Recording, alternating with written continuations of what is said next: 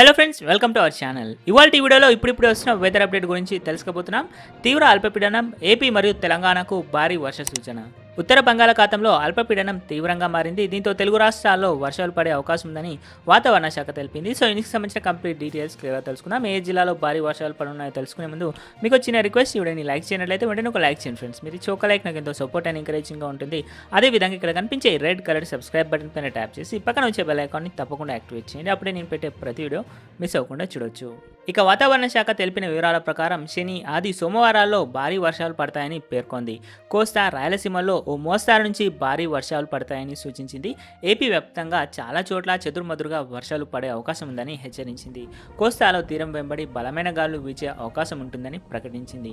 మత్స్యకారులు వేటకు వెళ్ళే సమయంలో తగిన జాగ్రత్తలు తీసుకోవాలని సూచించింది. ఇక తెలంగాణలో అక్కడక్కడ తేలికపాటి వర్షం కురుస్తుందని వెల్లడించింది. ఇప్పటికే హైదరాబాద్లో పలు చోట్ల భారీ వర్షాలు కురిసిన విషయం తెలిసిందే.